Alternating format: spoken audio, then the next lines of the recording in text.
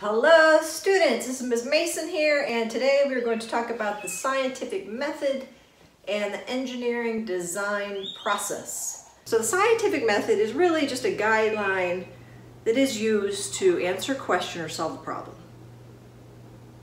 It's really a lot of common sense. You're really looking at a relationship between two variables. You're looking at the relationship between cause and effect. And it's a way of studying that relationship. So generally, the first thing you do is make observations. Observations are information you get from your senses. What are your senses? Like of sight, taste, hearing, all right? Those are examples.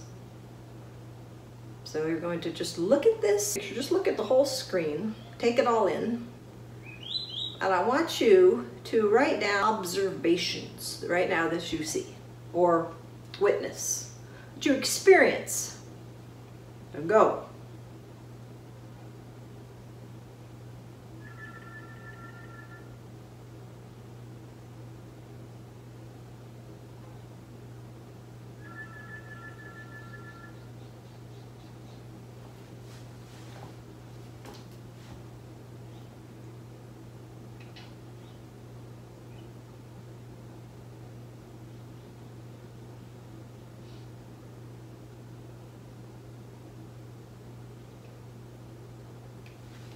Okay, now you can stop the video anytime, you can pause it whenever you want. I want you to look at those observations and we're going to interpret them. So now that you have your observations, we're going to make inferences. So inferences are interpretations of your evidence, of your observations.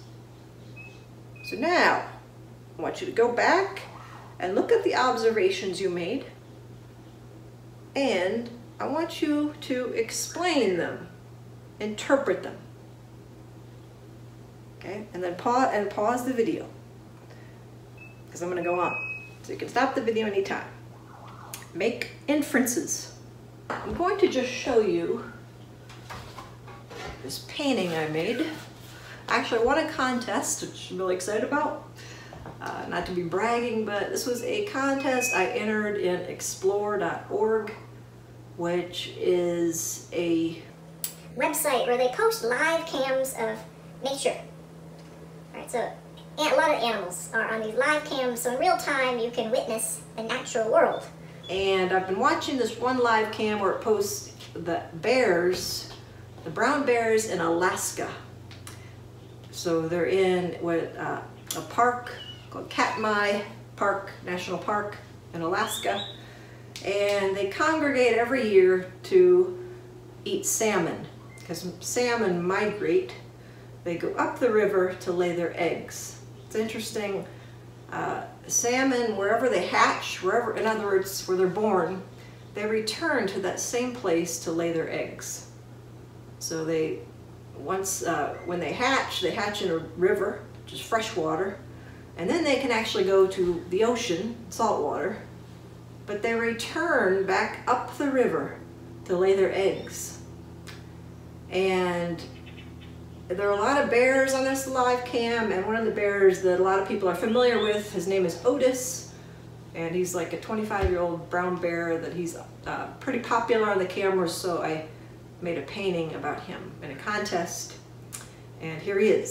So, what you're going to do now is you're going to go to this webcam, this of this, uh, of Brooks Falls in Katmai National Park in Alaska.